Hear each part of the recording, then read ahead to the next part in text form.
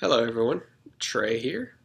So, as everyone knows at this point, the Supreme Court just voted at a 5-4 ratio to overturn Roe versus Wade, which means that the topic of abortion is now left up to the individual states to decide how they want to handle it. Uh, I just I just wanted to make this video to give a response as to what we need to do now we as Christians should be, one, we should be rejoicing in this because this means that many states will either do away with or or stop put or start putting far heavier restrictions on abortion. But though this is a win and a good thing for millions of lives, for millions of lives will be saved because of this overturning. This does not mean that our job as the church is done. In fact, it means that our job as the church has just began. I would like to see the church take great action during this time. We need to be the beacon for brotherly love and charity as the scriptures tell us to be. So this means that we, the church, need to step up and display God's love for the lost this means we need to be there to help those who are in need. For there are many that may feel alone or lost or scared. For it's a good thing that, that mothers that mothers now get to have their children and won't kill their children. But now it's our job as the church to take care of these mothers and to take care of these children.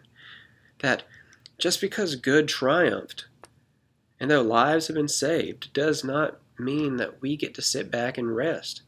It means that we get to stand up, for our work has just begun. We need to exemplify, as James says, and as James calls the pure religion, we need to exemplify that. James says in, in chapter 1, verses 27, Religion that is pure and undefiled before God the Father is this to visit orphans and widows in their affliction, and to keep oneself unstained from the world. We need to get out we need to get out of the mindset as Christians that it is our government's job to take care of those people. It is not. We, as the body of Christ Church, we're called to minister and to care for the weak and the heavy laden,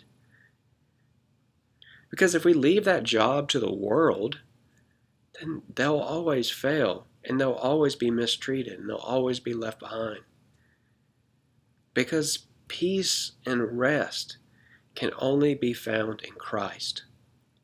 So this so this video, this fairly short video of mine, I just wanted to make a reminder that we as Followers of Christ now need to be ministers for the gospel, seeking to show not only to not only to the children that were being murdered that they are valuable and wanted, but that we also need to show the mothers as well that they too are valuable.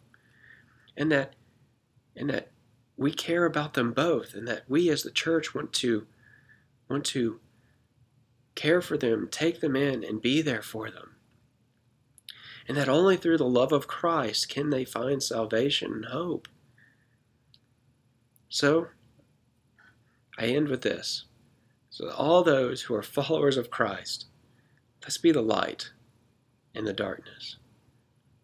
And remember that our work is not yet done.